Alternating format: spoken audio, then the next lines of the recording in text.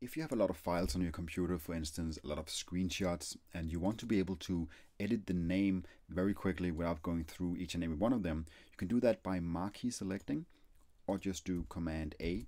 Then you right click anywhere and you do rename. Then you go here and you, let's say you want to remove screenshot.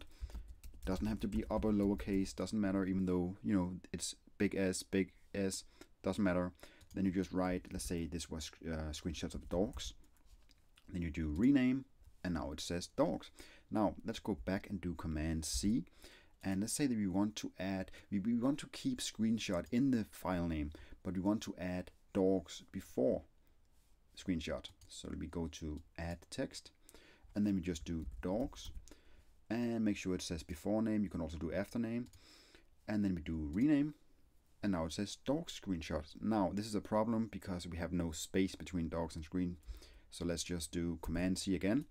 Once more, go back, and this time we just make a space right after dogs and do rename again, and now it works.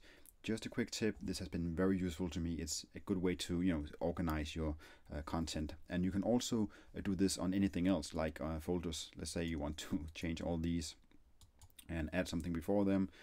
For instance dogs. Like so. Of course I don't want to do that so command Z. Yeah I hope this was helpful and if it was make sure you like uh, and um, subscribe to my channel. Much more to come in the future